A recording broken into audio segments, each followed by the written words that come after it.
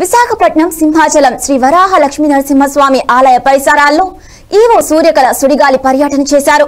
సామాన్య భక్తుల సైతం ఎటువంటి ఇబ్బందులు లేకుండా ప్రశాంతంగా దర్శనాలు జరిగేలా పూర్తి స్థాయిలో చర్యలు చేపట్టారు. ఒక గంటలోనే అధికంగా భక్తుల తాకిడి పెరగడంతో ఎటువంటి ఇబ్బందులు లేకుండా చర్యలు ఈవో సూర్యకళ చర్యలు చేపట్టారు. భక్తులు ఎటువంటి ఇబ్బందులకు ఎదురైనా ఉపేక్షించేది లేదని ఆమె హెచ్చరించారు. దేవస్థానం సరిహద్దుల్లో కొబ్బరికాయలు అధిక ధరకు అమ్మినట్లయితే లైసెన్స్లను రద్దు చేస్తామని హెచ్చరించారు.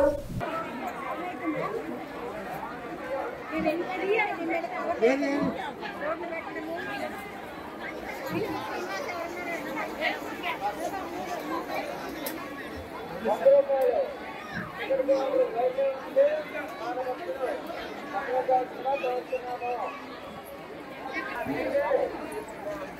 的！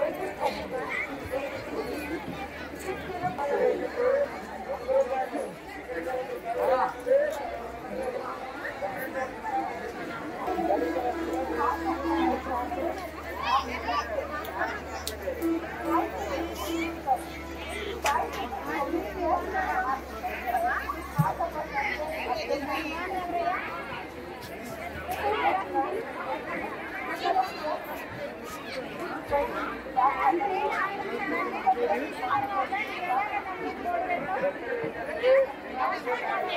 you.